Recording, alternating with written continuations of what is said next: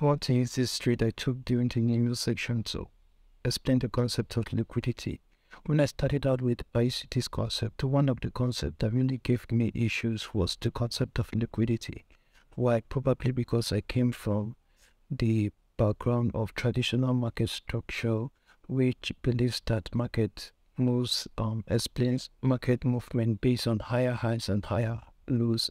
It was like an obstruction to my understanding of um, liquidity. So if, for example, we have a move like this, we have price.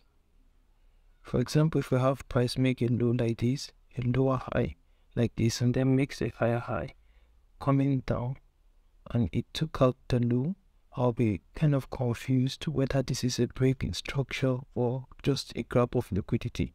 Those were the challenges I was facing when I I was learning ICT's concept, but I think currently everything is coming together now. My understanding about liquidity has really shifted. I want to play a video of the analysis I made how I was viewing the market before the setup presented itself. We have EU during the London session came out for sell side liquidity right here, and it's very obvious. Have this um this gap remaining here came and filled it completely, taking the sell side and started moving to the upside. This is the type of setup I'd like to be watching out for. On buy side liquidity just resting above here. And look how beautiful it is. So let's move down to the 15 minutes so I can show you how clear and beautiful it looks. Seeing that sell side have been engaged here already I'm looking for the buy side liquidity resting above this relative equal highs now. That's a kind of clean setup. And as it is currently, I'll be watching this inversion fair value gap.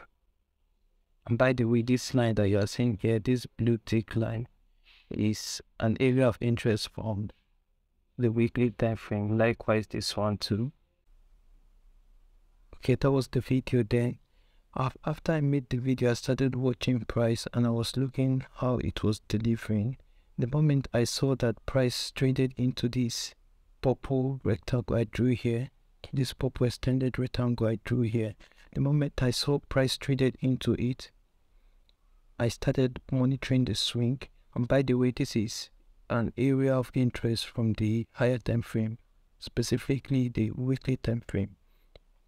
So when I saw price traded into this purple rectangle, I started monitoring the swing. Immediately I had the swing here and seeing that price traded up overlapped the previous fair value gap here.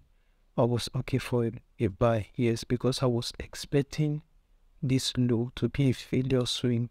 So if you want to explain this thing using the advanced market structure that was taught by ICT now, this is going to be a short-term low here we are going to have another short-term low and here is going to be an intermediary term low so basically that was what i was looking at and everything played out as expected.